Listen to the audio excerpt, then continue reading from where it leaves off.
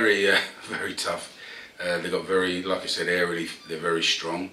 And most of the game, I thought we uh, kept them higher up the pitch. But as the game goes on and we get tired and we can't keep getting in behind them, you know inevitably it's going to come to that last five minutes. And I thought the, the lads were fantastic. You know, you have to praise Mark Connolly, Joe McNerney, you know, Lou and Andre. The back four defended resolutely.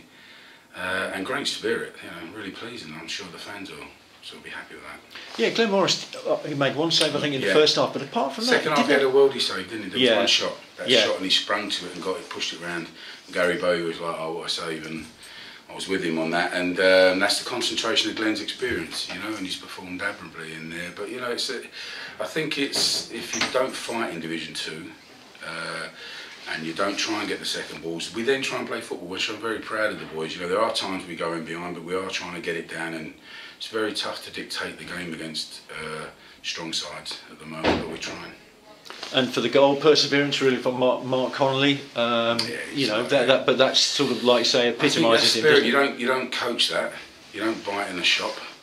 It comes from wherever he was born and his childhood and uh, it's great to see. You know, he's I'm onto him. I'm a bit hard on him sometimes on his footwork, but as a defender, uh, he's really, really improved. You know, in, in my eyes, and um, I think he knows that he's still looking at me as like, what do I think? And uh, I'd have to say, really, really pleasing. And the goal, yeah, you know, Nat Lofthouse would have been proud of that. You don't see too many of them given Actually given, I think I think the first thing I did was look at the referee, but he yeah. seemed quite happy. Yeah, I, I, don't question their integrity, and I know Gary uh, if it went in against us, I'd probably be going, is that okay? But you know, it's uh, I'm happy it went for us.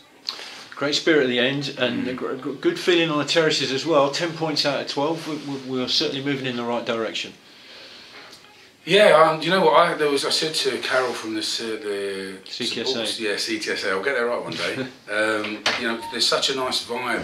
Seeing all the young lads before the game, the penalty shoot at half time, the flags.